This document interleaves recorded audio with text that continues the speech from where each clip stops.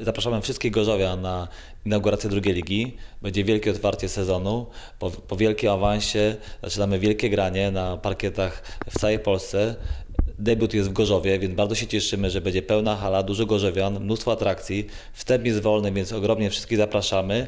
Będzie strefa dla dzieci, gdzie dzieci będą mogły się bawić w przerwach meczy i będą też konkursy dla widowni. Chcemy, żeby był taki rodzinny piknik przy dobrej koszykówce. Przez całe wakacje trenowaliśmy. Skład, który zrobił awans, to są sami gorzowianie i praktycznie takim samym składem przystępujemy do drugiej ligi, więc celem było to, żeby się rozwinęli koszykarsko i na tych parkietach drugowych pokazali się z jeszcze lepszej strony.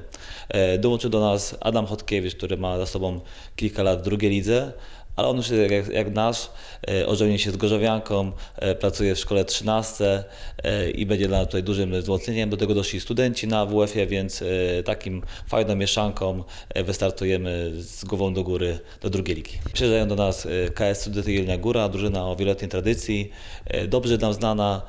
Trener Wilusz grał z nami i w Gorzowie, i przeciwko nam na poziomie trzeciej ligi. Również on awansował sportowo jako trener i składem takim młodzieżowym plus doświadczenie lokalne e, będzie na pewno to bardzo arcyciekawy pojedynek. Na początku sezonu przede wszystkim skupiamy się na sobie. Jeszcze nie robiliśmy scoutingu e, drużyny przeciwnej, ponieważ jeszcze materiałów nie ma e, dostępnych. To dopiero pierwsza kolejka, więc skupiamy się na sobie, na zgraniu. Na pewno gramy koszykówkę nowoczesną, nastawioną na dużą ilość punktów, dużą akcję 1 na 1, dynamiczną, efektowną dla kibica, bo gramy przede wszystkim dla nich. Zaczynamy już jutro, w sobotę, hala Cezji, Półca Warszawska, godzina 18. Jeszcze raz wstęp wolny, ogromnie wszystkich zapraszam.